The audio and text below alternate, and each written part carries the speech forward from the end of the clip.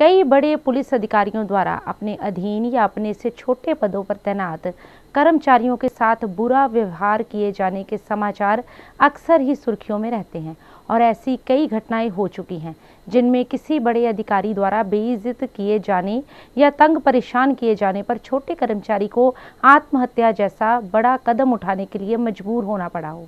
ऐसा ही एक ताज़ा मामला होशियारपुर के कस्बा हरियाणा थाने में सामने आया है, जहाँ एक बड़े अधिकारी द्वारा बेइज्जत किए जाने से आहत एक एएसआई ने सुबह करीब 10 बजे थाने में ही खुद को गोली मारकर आत्महत्या कर ली।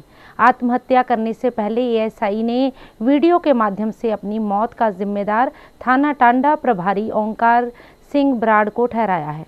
वहीं एएसआई की मौत से जहाँ पुलिस विभाग में हड़कंप मच गया है तो वहीं इस घटना की हर तरफ़ निंदा भी हो रही है। मिली जानकारी के मुताबिक एएसआई सतीश कुमार ने खुदकुशी करने से पहले जारी किए वीडियो में कहा कि 8 सितंबर को वह थाने में तैनात था। रात दो बजे थाना टांडा प्रभारी ओंकार सिंह बराड़ थाने में आए और उसे बुलाया। इसके बाद जब वह उनके पास गया तो उन्होंने पूछा कि हाई कोर्ट में कितने मैटर लगे हैं। इस पर सतीश कुमार ने बताया कि हाई कोर्ट में एक ही मैटर लगा है। जिसके बाद थाना प्रभारी ने उस मैटर के बारे में पूछा। तो उन्होंने कहा कि जिस सिपाही ने जाना होता है, उसे ही इस बारे में पता होता है। इस दौरान उससे और भी कई गैर ज़रूरी सवाल पूछे गए, जिनका उसके साथ कोई संबंध नहीं था। इस दौरान थाना टांडा प्रभारी ने उन्हें गालियाँ भी दी और उन्हें बहुत ज़्यादा बेइज्जत भी किया। जिसके बाद एएसआई ने कहा कि वह उन्हें बेइज्जत ना करे, बल्कि उसे गोली मार दे। इतना ही नहीं, जाते समय वह रोज नामचे में उनके खिलाफ रिपोर्ट भी लिख कर गए। जिससे आहत होकर सतीश कुमार ने खुद को गोली मारकर अपनी जीवन लीला समाप्त कर ली।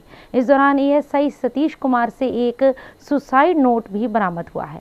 वहीं मृतक के परिजनों ने पुलिस के उच्चाधिकारियों से थाना टांडा के प्रभारी ओंकार सिंह बराड़ के खिलाफ हत्या का मामला दर्ज कर उसे कड़ी से कड़ी सजा दिलाने की मांग की है। इस संबंध में जब थाना टांडा प्रभारी ओंकार सिंह बराड़ से पक्ष जानने हेतु उनके मोबाइल नंबर पर संपर्क किया गया तो उन्होंने फ़ोन काट दिया वहीं घटना की सूचना मिलते ही पुलिस के आला अधिकारी थाना हरियाणा में पहुंच गए थे और उन्होंने मामले संबंधी गहनता से जांच शुरू कर दी है होशियारपुर से हलचल के लिए अंकुश गोयल की रिपोर्ट ਥਾਣਾ ਹਰਿਆਣਾ ਵਿਖੇ ਬਤੌਰ ਤਫਤੀਸ਼ੀ ਅਫਸਰ ਲੱਗਾ ਹਾਂ ਮੈਂ 1990 ਦਾ ਭਰਤੀ ਹਾਂ ਤੇ 1994 ਦਾ ਲੋਅਰ ਪਾਸ ਹਾਂ ਇੰਟਰ ਕੀਤੀ ਨੂੰ ਵੀ ਮੈਨੂੰ ਕਰੀਬ 3 ਕੁ ਸਾਲ ਹੋ ਚੁੱਕੇ ਮਿਤੀ 8/9/22 ਨੂੰ ਮੈਂ ਥਾਣਾ ਹਰਿਆਣਾ ਵਿਖੇ ਬਤੌਰ ਡਿਊਟੀ ਅਫਸਰ ਮੌਜੂਦ ਸੀ ਤਾਂ ਰਾਤ 2 ਵਜੇ inspector Onkar Singh SHO Tanda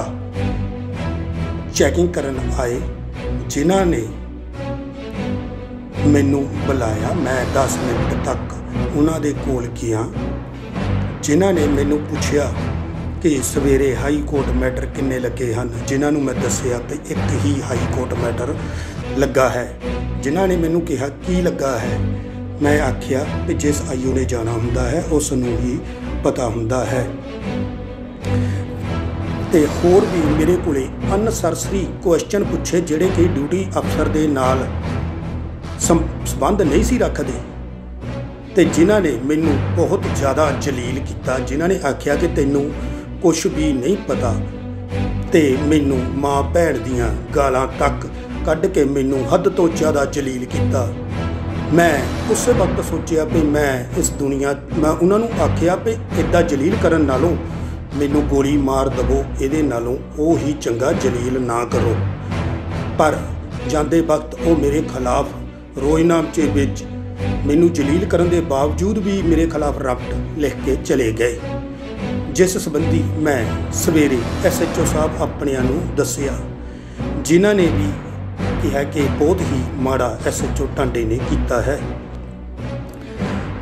SHO ਟਾਂਡੇ ਐਸਐਚਓ ਟਾਂਡਾ ਓਂਕਾਰ ਸਿੰਘ ਜੋ ਕਿ ਬਹੁਤ ਹੀ ਮਾੜਾ ਵਤੀਰਾ ਛੋਟੇ ਮੁਲਾਜ਼ਮਾਂ ਨਾਲ ਰੱਖਦਾ ਹੈ, ਜਿਸ ਨੇ ਮੈਨੂੰ ਜਲੀਲ ਕਰਕੇ ਮਾਮਾ ਭੈਣਾਂ ਦੀਆਂ ਗਾਲਾਂ ਕੱਢ ਕੇ ਮੈਨੂੰ ਮਰਨ ਲਈ ਮਜਬੂਰ ਕਰ ਦਿੱਤਾ ਹੈ।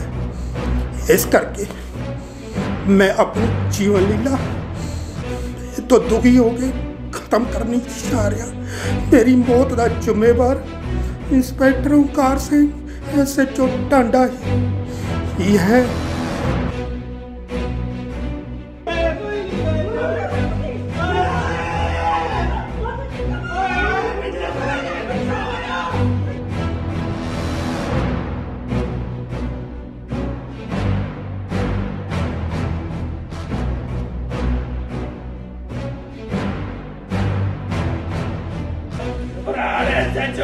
ਕੀਤਾ ਮੇਰੇ ਭਰਾ ਦਾ। ਭਾਰੇ ਜਿਹੜਾ ਸਟੈਪ ਥਾਣੇ ਜਾਂਦੇ ਦੇ ਵਿੱਚ ਆ। ਉਹ ਮੇਰਾ ਭਰਾ ਸੁਸਾਈਡ ਨੋਟ ਲੈ ਕੇ ਗਿਆ। ਉਹਦੇ ਖਰਾਬ ਲੈ ਕੇ ਗਿਆ। ਕੱਲ ਮੈਨੂੰ ਨਹੀਂ ਪਤਾ ਸੀ, ਮੈਂ ਕੱਲ ਸਾਰੀ ਦਿਹਾੜੀ ਨਹੀਂ ਪੜਿਆ ਪਾਰੋ ਪਾਰੋ ਉਤਰਿਆ ਉਤਰਿਆ ਸੀਗਾ ਉਹਦਾ ਮੂੰਹ ਕੱਲ ਨਹੀਂ ਕੱਢਿਆ ਮੈਂ ਕਿਹਾ, ਕੀ ਗੱਲ ਹੋ ਗਈ ਮੇਰੇ ਭਰਾ, ਮੈਨੂੰ ਦੱਸ। ਸੁਸਾਈਡ ਨੋਟਸ ਲਿਖਿਆ ਹੈ ਜੀ। ਕੀ ਲਿਖਿਆ ਉਹਨੇ ਤੁਸੀਂ ਪੜ੍ਹਿਆ ਹੀ ਹੈਗਾ ਦੱਸ ਦਿਓ ਕੀ ਸੀਗਾ। ਚਲੋ ਇੱਕ ਦੋ ਅੱਧੇ 50-10 ਮਿੰਟਾਂ ਜਾਂ ਘੰਟੇ ਬਾਅਦ ਪਰ ਲੱਗ ਜੂਗਾ ਹੀ ਤੁਹਾਨੂੰ ਕੀ ਕਾਰਨ ਕੀ ਹੋਇਆ ਜਿਹੜਾ ਹੈਗਾ ਗੋਲੀ ਮਾਰਨ ਦਾ? ਉਹਨੇ ਨੋਟ ਸੁਸਾਈਡ ਨੋਟ ਵਿੱਚ ਲਿਖਿਆ ਹੋਇਆ। ਹੈ ਸਰ ਐਸਐਚਓ ਟਾਂਡਾ ਦੇ ਉੱਤੇ ਆਰੋਪ ਲੱਗ ਰਹੇ ਨੇ ਜਿਹੜੇ ਸੁਸਾਈਡ ਨੋਟ ਦੇ ਕਹਿੰਦੇ ਲਿਖੇ ਪਏ ਆ, ਗੱਲ ਸੱਚੀ? ਹੈ